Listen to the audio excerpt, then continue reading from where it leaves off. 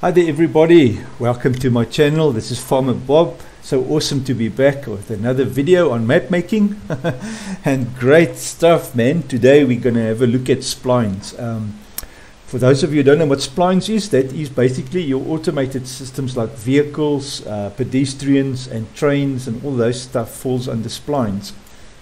Um, how splines basically work um, is it got a start and an end position and it forms a loop.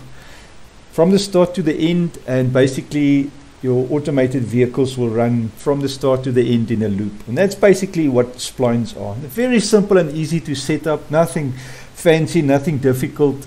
I'm just uh, going to show you the way I've found to do it. I've never actually used it in any of my maps. Um, I haven't really found uh, I don't think I don't think I really like having pedestrians and vehicles and stuff, you know.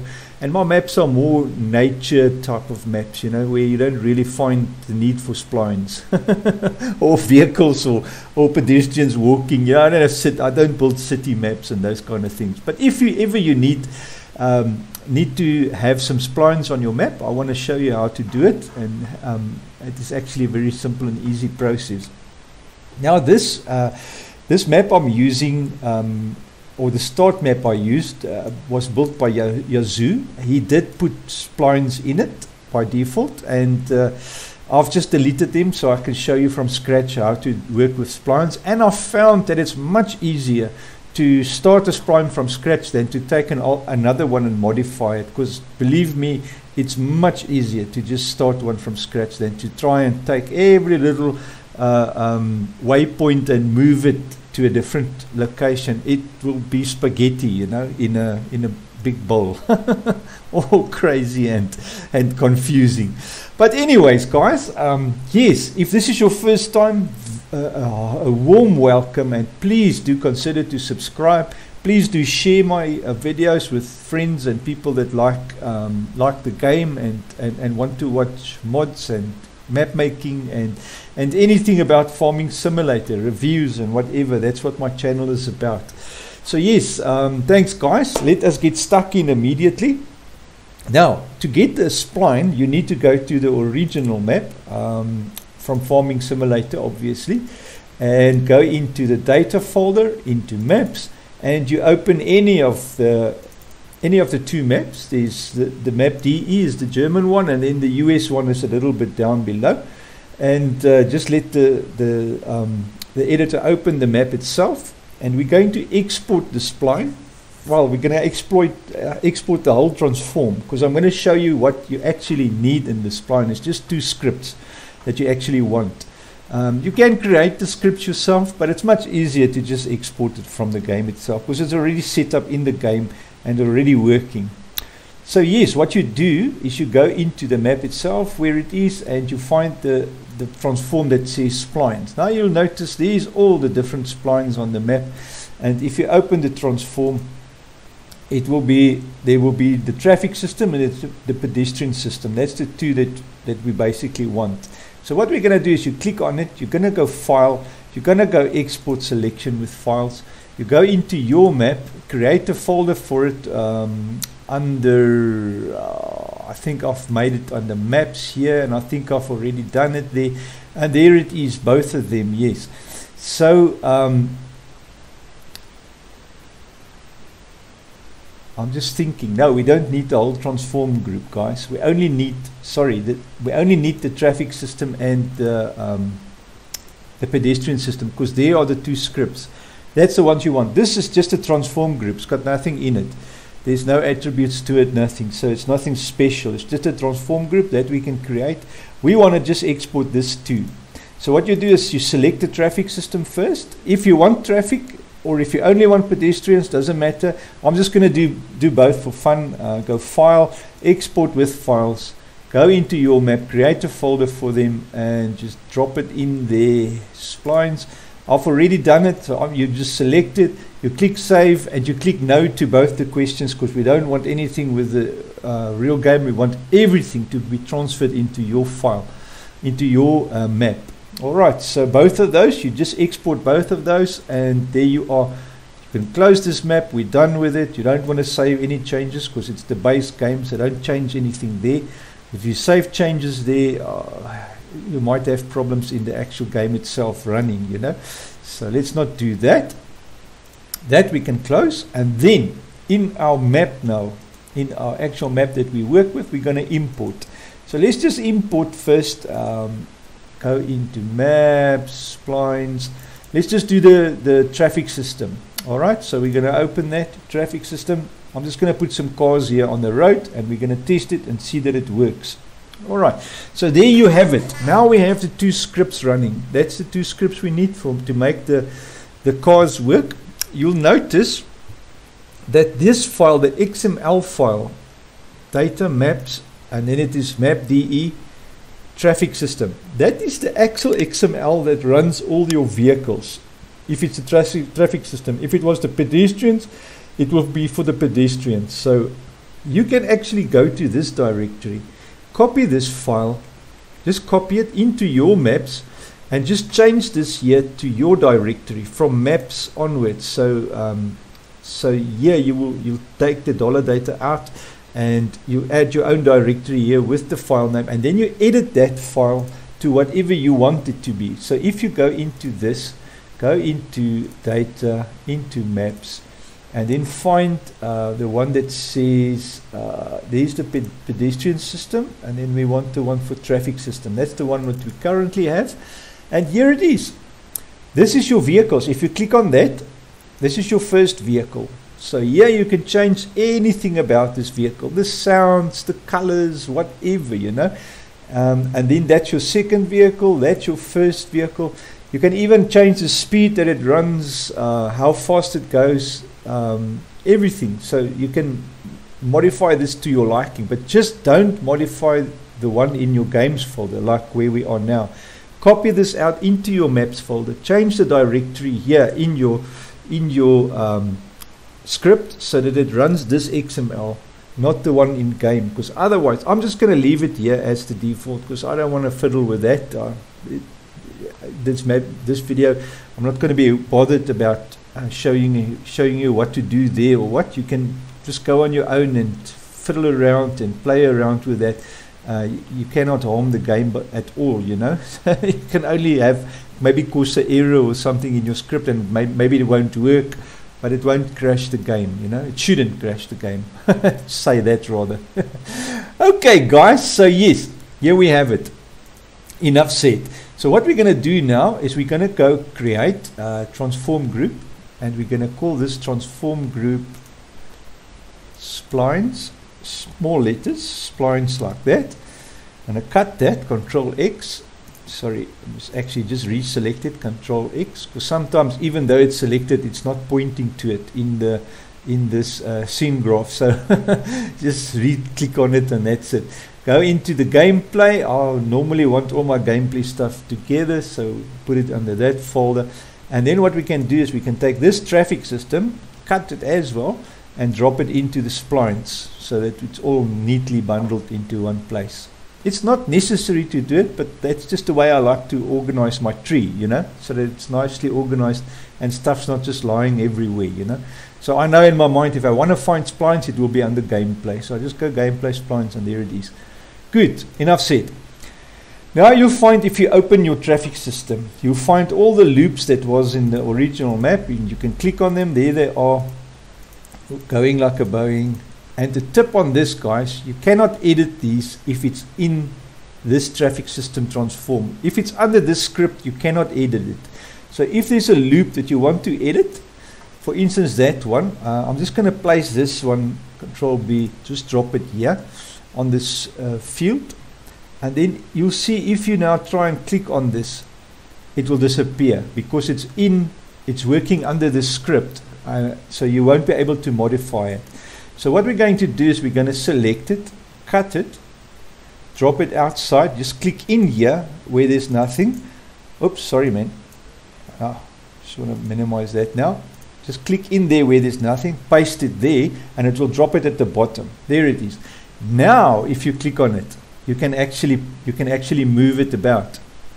You see, so this is just a tip to remember, you can't edit in the under the script. You need to take it out and out of, out of uh, um, the position where it is in the script.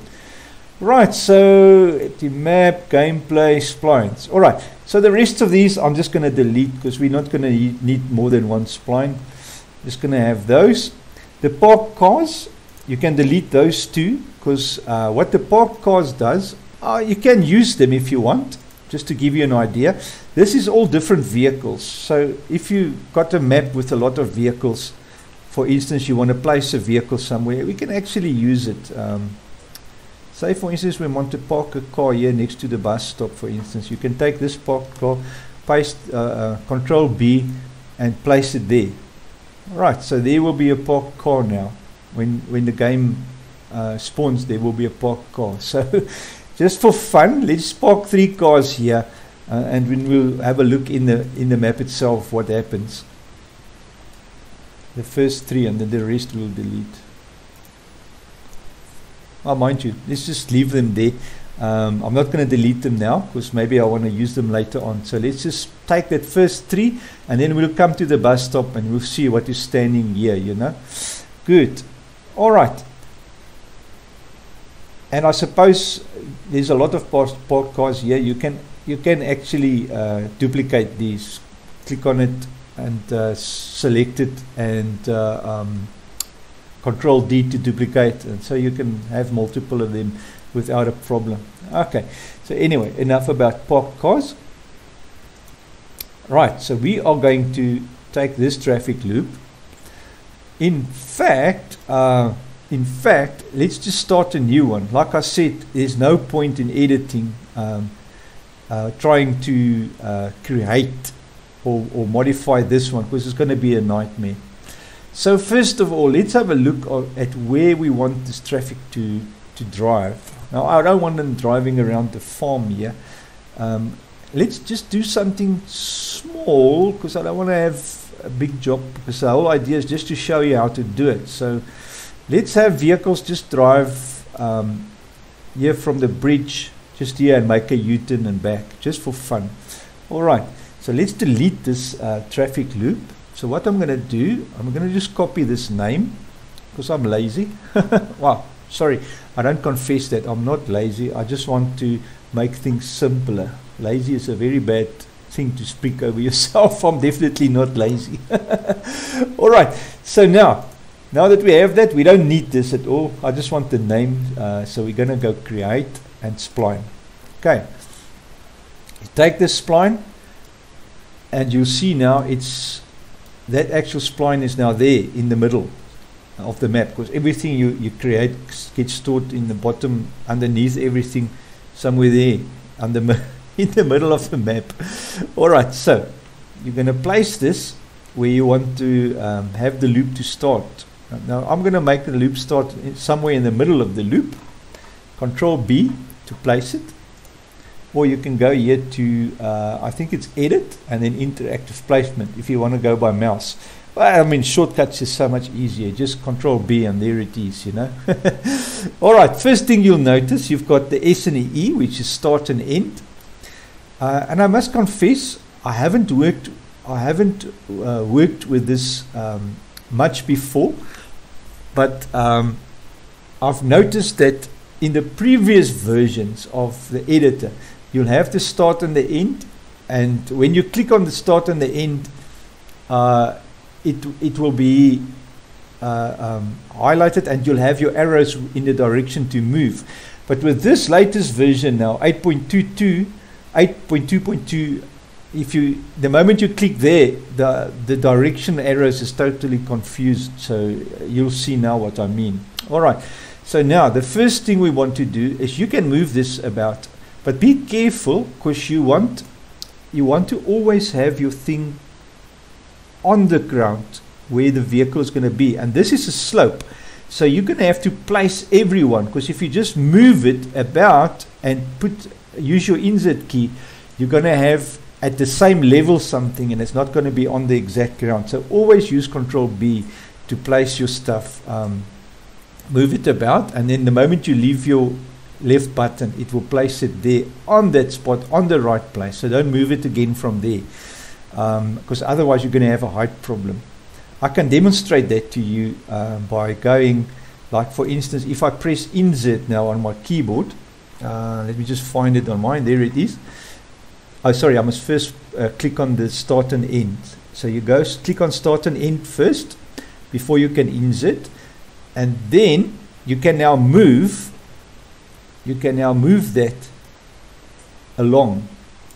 And if I create the next waypoint by pressing insert, that one will actually be underground now. So that will be a problem. So I'm going to go control Z because this is a slope, remember, going up and we want it, we want to have um, we want to have the the waypoints follow the the road going up. All right, so let me just go Control Z again. Let's start there from the scratch. There is a way to overcome that, guys. Is you can go, uh, you can select. Let me just go there what has happened now to my spline? oh my word, I've, I've lost it now. Let me just click on the E again. Maybe I must just come in a bit closer. Click on the E again. Yes, that was what happened. All right. So what you can do, I'm going to show you another way. Control B for the next one. Is there. Press insert. Control B for the next one. Press insert. Now the next the, the, the thing that you need to consider as well is your vehicles is going to go from start to end in a loop. So there's two sides on the road that you normally travel. It's the, the two lanes, um, the left and the right. This is dust roads, obviously. And in South Africa, we drive on the left side of the road. So I'm going to actually let me uh, let me do it the right way because I'm actually working in the overseas, like in um, America and those places where they drive on the on the on the other side of the road, the wrong side of the road, you know. okay, so let me let me do this over. Um, I don't want to. Uh, I want to just have it. Oh, maybe I'm actually just wasting time now, guys. Sorry, man. Let's just do it again. Spline, uh, Control B. I'll put it on this side now. And now remember, um, you work actually in reverse. So if you go start and end, right, so that, that way, now the vehicles, sorry, my wife is just dropping me some nice things to drink here.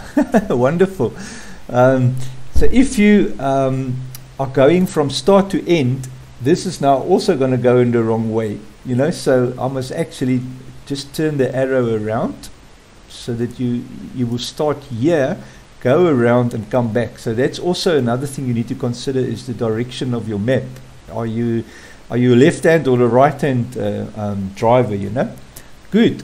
So guys yes get yourself something nice to drink and relax. I'm going to just quickly make a few um, few uh, waypoints. And it's as simple as click on your first um, on your first thing I just want to go here to the start point. You must select it and then control B to place it.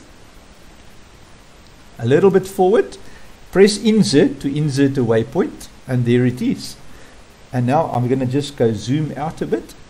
And the more waypoints you put the better for the smoothness of your uh, of your uh, um, your loop of your traffic and it's exactly the same process whether you use traffic, whether you use uh, pedestrians, guys.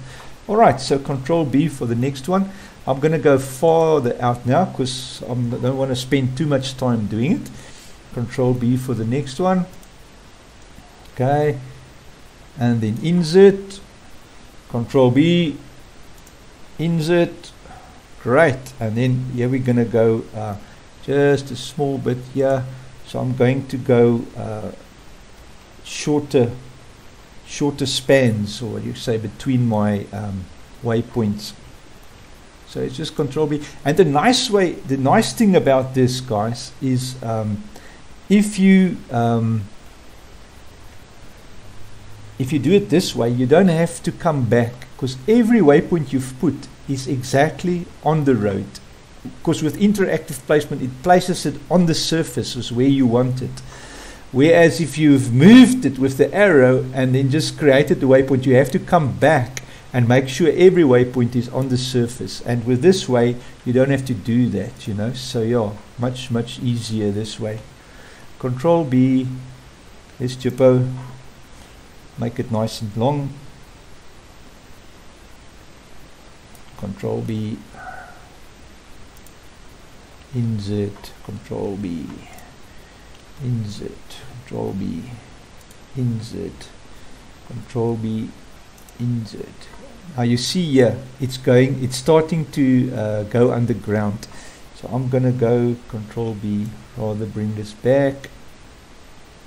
There, insert it there, Control B. It's because it's going uphill and remember I said it's better to have shorter distance between your waypoints and that way you will always be sure. Alright, so let's uh, start making a U-turn here.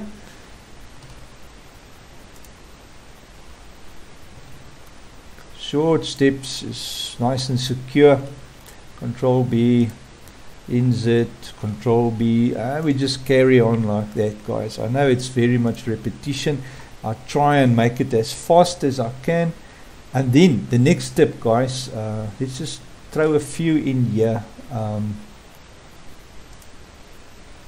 just to uh,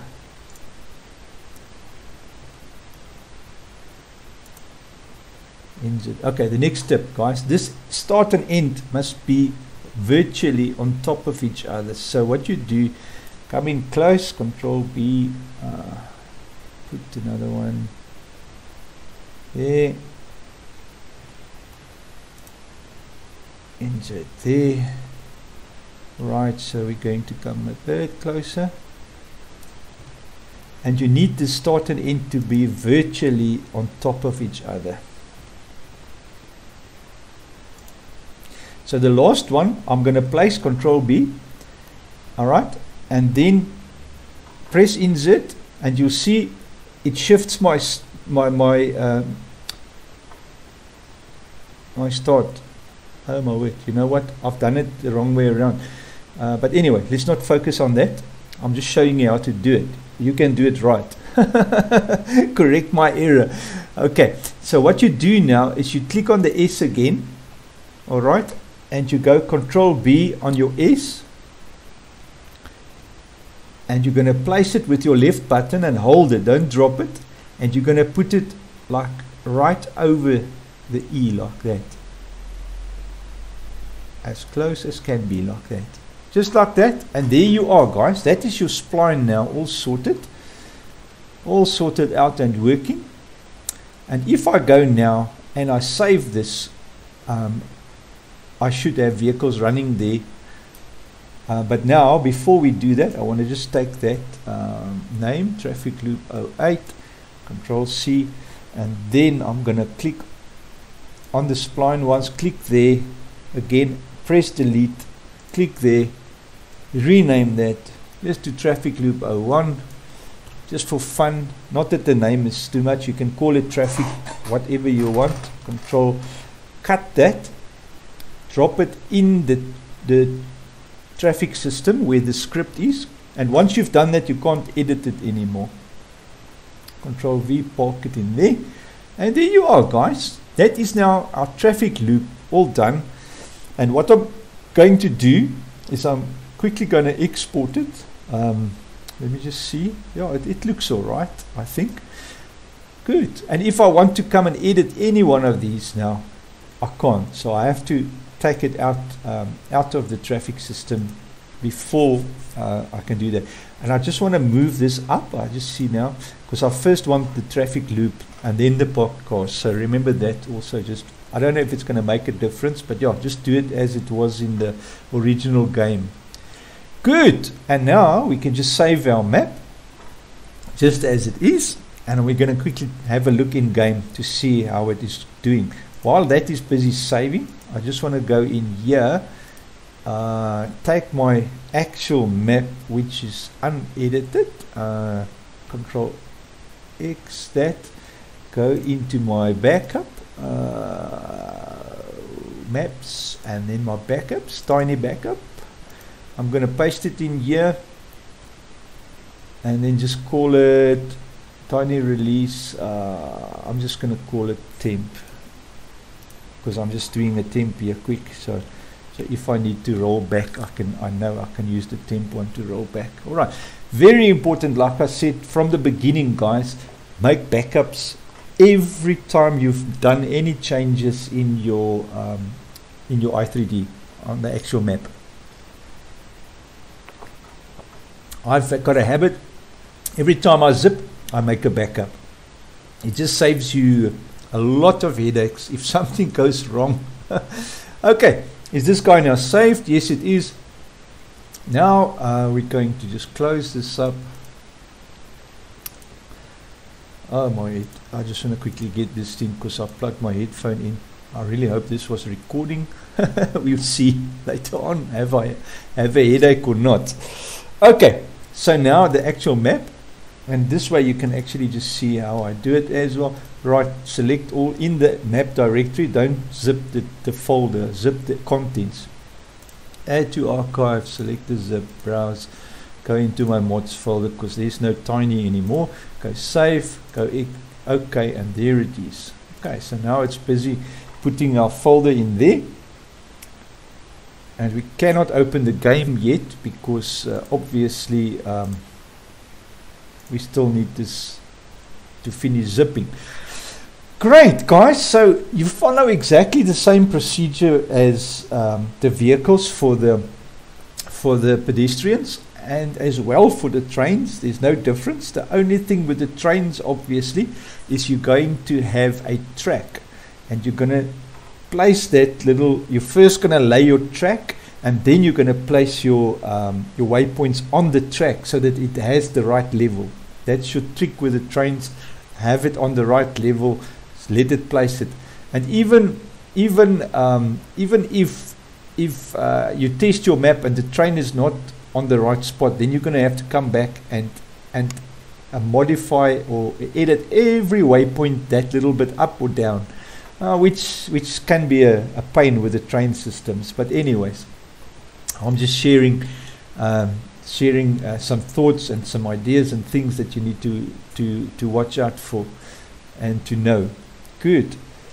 Um, yes so what's happened now is obviously we've placed that that um, spline in the script and the script is going to run this the moment the map loads the i3d that that script is going to run because it's built into the i3d now and it's going to use the in-game uh, settings for it because remember that it points to the in-game XML um, which is there. But like I said if you want to modify change the cars frequencies and the colors and whatever cars you want there you can load anything there like tractors or whatever you want. You can really go wild. I know the guys have put in trucks and tractors and all kinds of funny things. Good. Great. So let's start up the map and have a quick look.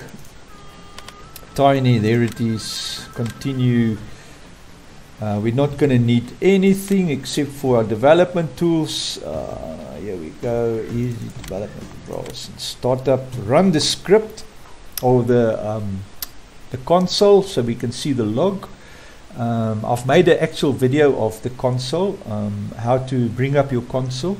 If you want if you're not sure how to do this you can look at my video there under the playlist. Um, and just find it I've recently. I think about two videos ago released it how to open the console. And it's nothing it's not a big secret. You just go into the game directory edit the game.xml file and I'll show you I'll show you in the video exactly where it is and how to do it. So yeah, it's very simple. And then you press your tilde key in game and the tilde key is obviously the one next to the one. And great stuff. You've got uh, um, the console running and immediately you can see here if there's any errors with anything you've changed in your map, you'll immediately pick it up while the script is after um, the whole game is running your XMLs and everything. Because at the moment your i3D is running and it's loading everything, and the very last thing is the water tank. I know that because that's the last thing in my last thing I've added to the game. And there it is, start. So now let's just get rid of this get rid of all the cinematics and stuff happening. Uh, let's bring up our tools. Quickly run uh, flight mode. Yes. Okay. And then we can go to our cars and have a look here where the cars are. For those of you who are looking for the first time this is a map I've built and a whole series of videos how to build a map. You can start from video one. We've made this map from scratch and um, done it all all by themselves. And there's your cars running guys. You'll see there's a vehicle coming. It's a very small spline. The bigger the spline I think the more cars or vehicles it will it will run. And let's just see this guy make a U-turn going back. And you'll see I've, I've got the the thing uh, wrong. So my direction although it looked like I started it actually goes in reverse guys. So when you end you're actually moving the start point so it will be better for you to start with the end point and move the end point rather than the start point. Great so um, our spline is working fine. If your spline is not running it's probably because that start and end point is not close enough to each other. And just go back into your map move that points together. You'll see there was a little flip there um, when it it started at the the new loop. I just want to have a quick look again. It actually makes a little flip there. And it's look it looks like it's running nicely on the ground on the road itself. It's not going into the road or above the road. Let me just go down a bit. Like us yeah you see there it was a little bit into the into the soil. And that's what I said about the more waypoints you put let's just see if it does another flip. No that one was smooth. Maybe it was just a glitch. Oh there it is. It is.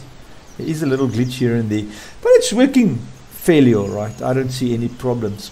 Now for the parked cars let's just have a look at those uh, parked cars that we placed here. If we can see any parked cars. Like I was saying earlier guys uh, this is a uh, tiny map I've, uh, decided to make a script with uh, um, start from scratch. And these the three parked cars guys. So you can fiddle those around. And uh, um, this one is is taking a wheelie. It's in a, a, a, st a stasis position, standing and wheeling. Something went wrong there, but anyways, I think maybe it was uh, on the original. Remember, we, we copied this from the original game, so it was probably set on a hill or something in the original uh, on the original map. But not to worry, it is working fine, and I think we might find some cars flying around somewhere on the map with the others, either underground or above ground. but anyway, I will modify those accordingly. I don't see anything quickly, but obviously they've got a view range, so let's have a look. They obviously have a uh, range that you can see them. I don't see anything by the looks of it, but I know they'll be here. If you drive around on the map, you'll find them because they're somewhere. okay. Anyways, guys, that is just a quick tutorial on how to do a spline, how to set up vehicles and pedestrians and those kind of things on the road. I really hope it was a bit helpful and maybe I could share some tips. Um, oh yes, what I wanted to quickly lastly say, um, if you want to modify the height or check, just verify the height of your spline. Once you've finished, you can um, you can select that little waypoint by clicking on it and then press your page down key and it will drop it onto the ground or the first thing that's above the ground. So that's a way you can just verify. You press the page down key and it will drop it onto the ground. So you click you click on it, uh, use the up arrow to pull it up a bit and press the uh, page down key and it will drop it down onto the surface again. So that way you can make sure it's onto the surface. Um, if if you think for, for some reason you've moved it about and it's not on the surface, then you can uh, verify it that way. Just select it, use the up arrow, move it up into the air, press the page down, it will drop it straight to the ground and that will be fine. Good man, guys. I really hope it was a bit informative um, and uh, it, it shared a bit on, on the subject. And thank you so, so much for watching. Please do consider subscribing and please do consider sharing.